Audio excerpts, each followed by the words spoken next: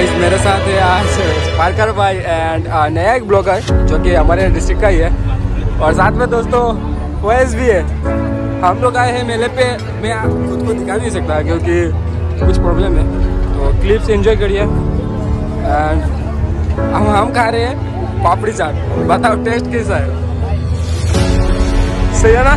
सही है ना? टेस्ट कैसा है?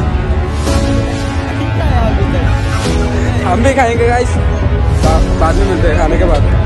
ओ भाई।